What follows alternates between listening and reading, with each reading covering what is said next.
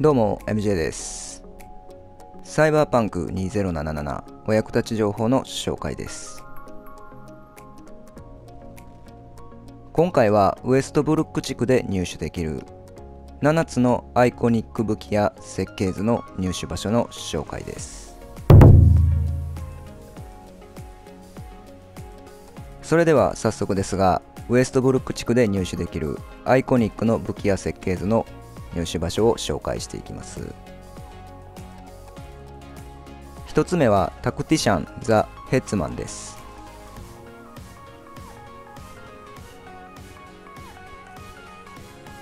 入手方法はノースオーク NCPD の組織犯罪。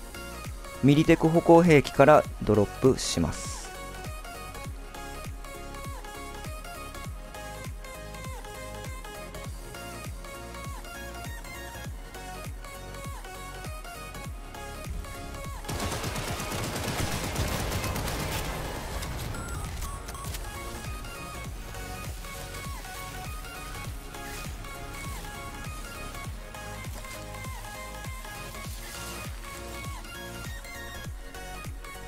続いて2つ目のアイコニック武器は沼マムシです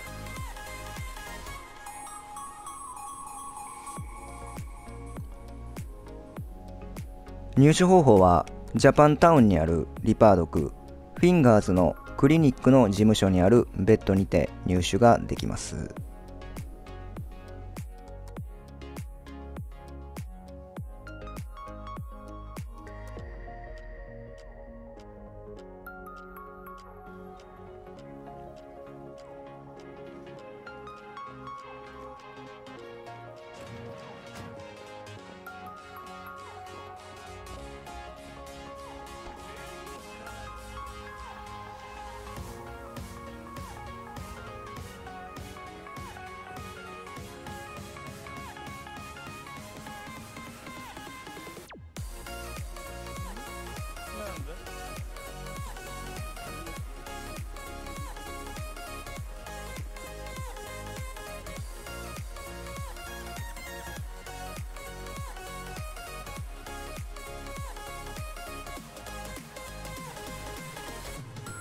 続いて3つ目のアイコニック武器は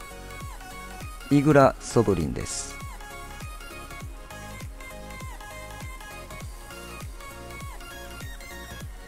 入手方法はジャパンタウン NCPD の組織犯罪。敵 NPC を倒すことでドロップします。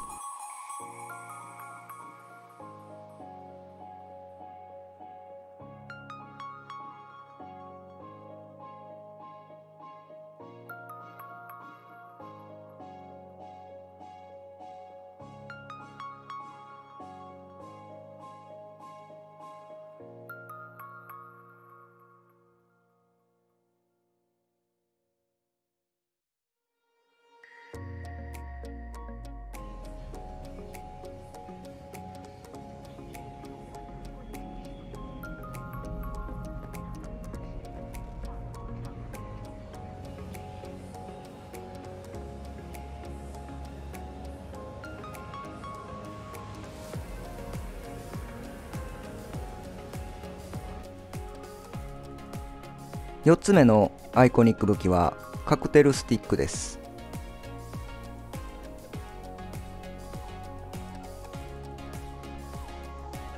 入手方法はメインジョブオートマティックラブ機械仕掛けの愛で訪れる H8 メガビルディング内 VIP ラウンジの奥にあるメイクルームにて入手ができます。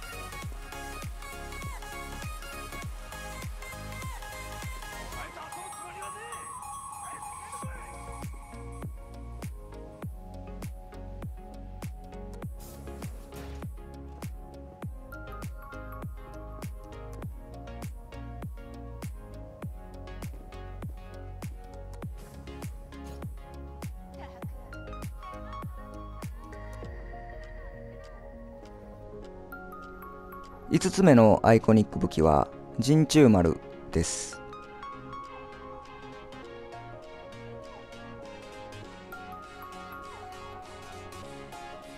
入手方法はメインジョブ安全策。三太夫小田からドロップします。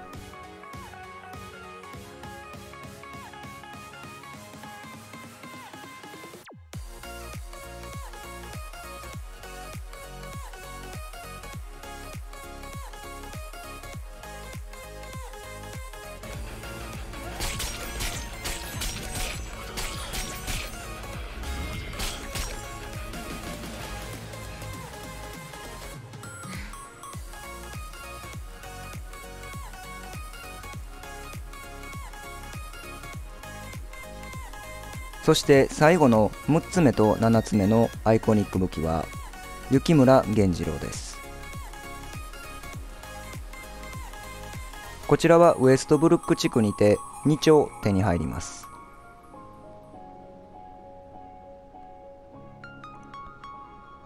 まず1つ目の入手方法はメインジョブ安全策をスタートさせると出現します。入手場所はレッドウッドマーケット近くにある建物。21階の小さな荒坂の倉庫内にて入手ができます。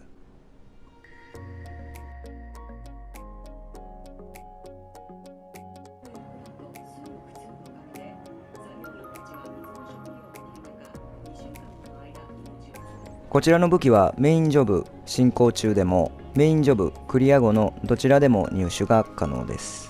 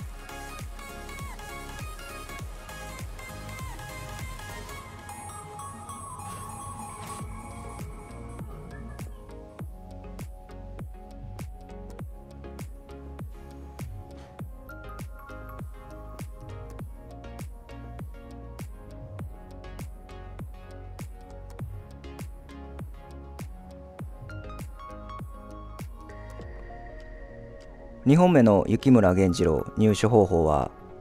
ノースウォーク荒坂エステート内荒坂邸にて入手ができます。